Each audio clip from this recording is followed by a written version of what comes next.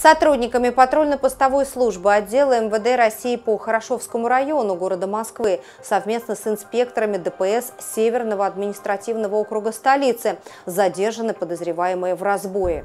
В территориальный отдел полиции обратилась администратор сауны, расположенной на улице 5 магистральной.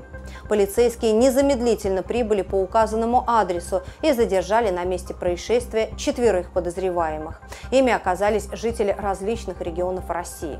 Выяснилось, что злоумышленники угрожали посетителям сауны электрошокером, а также предметами, похожими на нож и пистолет.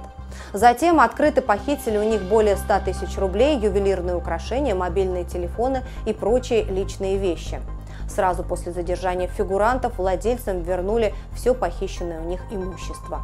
Следственным управлением Управления внутренних дел по Северному административному округу Главного управления МВД России по городу Москве было возбуждено уголовное дело по признакам преступления, предусмотренного статьей 162 Уголовного кодекса Российской Федерации. В настоящее время в отношении подозреваемых избрана мера пресечения в виде заключения под стражу. Предварительное расследование уголовного дела продолжается.